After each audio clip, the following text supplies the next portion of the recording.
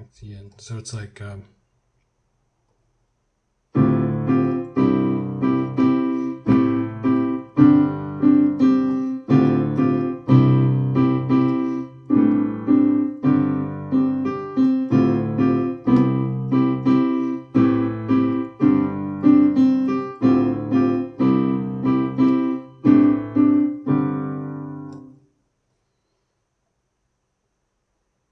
thank mm -hmm. you